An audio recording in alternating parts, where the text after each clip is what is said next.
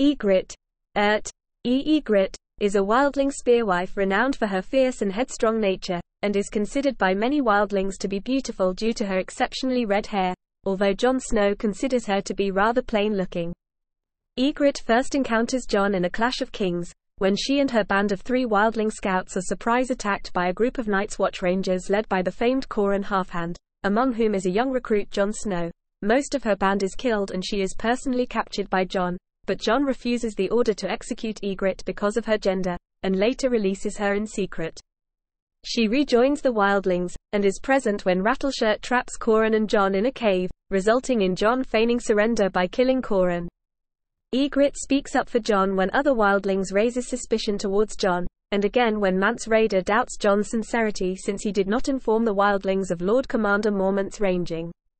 Ygritte voluntarily transfers to Tormund Giantsbane's group in order to stay with Jon, and they begin a sexual relationship as the wildling raiders attached to Thenn leader Styr are sent to scale over the wall on Mance's orders aiming to attack Castle Black from the rear. Ygritte continues to defend Jon, but when Jon defects at Queen's Crown to return to the Night's Watch, she shoots Jon in the calf with an arrow on the run. Ygritte later participates in Styr's attack on Castle Black, and is fatally shot in the chest by an arrow in the ensuing battle and dies in Jon's arms.